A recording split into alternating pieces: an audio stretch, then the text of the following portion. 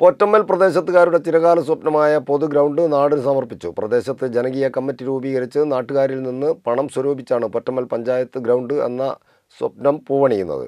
ഗ്രാമപഞ്ചായത്ത് പ്രസിഡന്റ് ദിവ്യ ഷിബു ചടങ്ങ് ഉദ്ഘാടനം ചെയ്തു.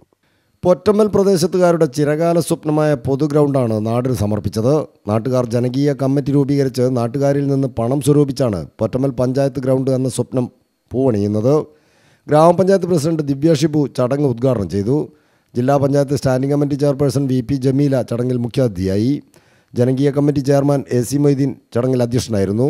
കൺവീനർ കെ വി അബ്ദുറഹ്മാൻ ഗ്രാമപഞ്ചായത്ത് vice president Fasal Kudiyathur ward മെമ്പറും സ്റ്റാൻഡിംഗ് കമ്മിറ്റി ചെയർപേഴ്സണുമായ ആയിഷ ചാലപ്പുറത്ത് ബ്ലോക്ക് പഞ്ചായത്ത് അംഗം advocate K P Sufiyan panchayat മെമ്പർമാരായ ബാബു പോൽക്കുന്നത്ത് മറിയാംകുട്ടി ഹസൻ ഷംലൂലത്ത് ഗ്രൗണ്ട് കമ്മിറ്റി അംഗങ്ങളായ Ashraf Kottupurath K C Basheer master Gadarmon Puthiyottil Shuhaib Kottupurath Muhammad Bangalath Muhammad Bangalath Bappu Chettur Rasheed Eliyangottu C T Sajith master Rafeeq Hasan S C Shiyab തുടങ്ങിയവർ ചടങ്ങിൽ സംബന്ധിച്ചു.